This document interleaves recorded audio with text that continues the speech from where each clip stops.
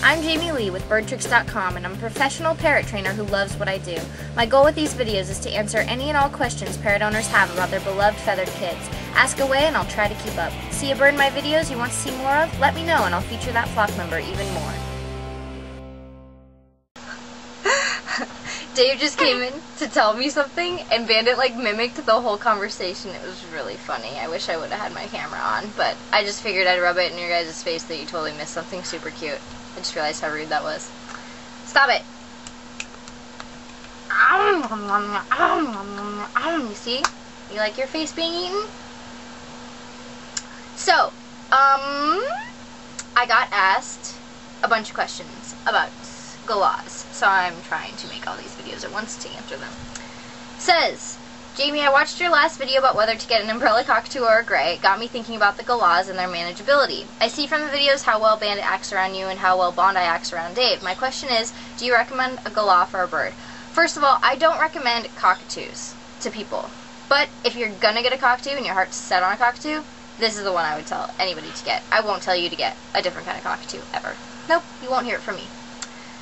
Okay, um, the other question is also, do they make much noise in the morning?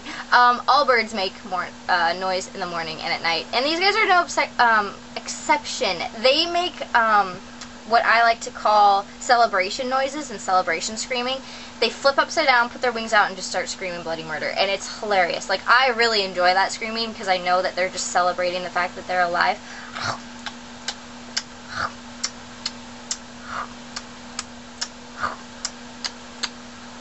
I just eat him back when he tries to eat me.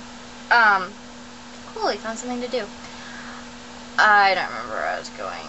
Oh, yes, they make noise in the morning. It's a lot of noise. They can get pretty loud. Um, our birds aren't that loud, but when we adopted Ace, he was like much louder than our two, and uh, so that was kind of surprising. So I understood what my friends were going through when we adopted him. Um, so they can, yes, they can be super loud.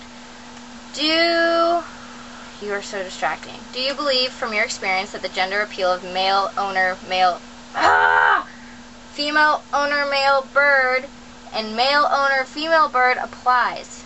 Um, I know he's a talker, major distraction, but could you use Gregor in the video? Ah! Okay. Yes, I totally believe in that, and from experience, it happens all the time. It's like he's attracted to me, and Bondi and Krusty love Dave. It's like disgusting. I upload a video of Dave and Krusty. It's ridiculous. Like, they're ridiculous. You and I aren't that bad. Um, but yes, so I do, I do notice that a lot.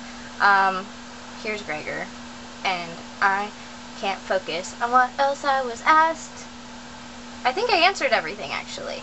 Um, they are really great companions, but they're super high maintenance, and I don't think people realize, like, they see me and my birds, and it's a really cute video, but you don't buy them from the pet store or from the breeder like this, you know, like, there's a lot of training that goes into this, there's a lot of, like, upbringing, raising, you know, and you're not gonna, like, buy a bandit or a bondi from somebody, you, like, that's how we've raised them, a lot of work has gone into it that people don't necessarily see, so they're very challenging and they're a lot of work. But it's totally worth it and I love them and they're so crazy and I just love them to death. But I don't normally recommend them to people because they're high maintenance. Eat my face. I mean, eat your face.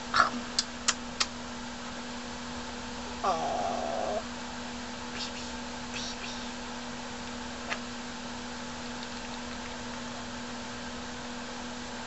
love you.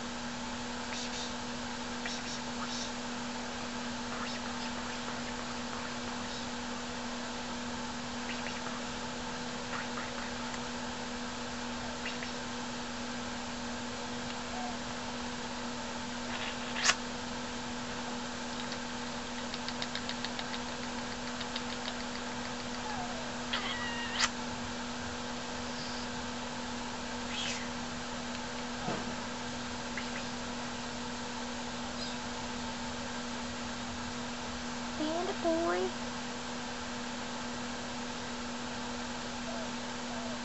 We got totally distracted.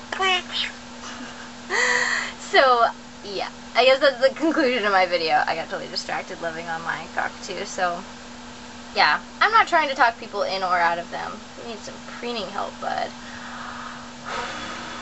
But, um, just know that they're, like, super cute, but they're super maintenancey, too. And, You... There's nobody helping you out there with your preening, because this is ridiculous.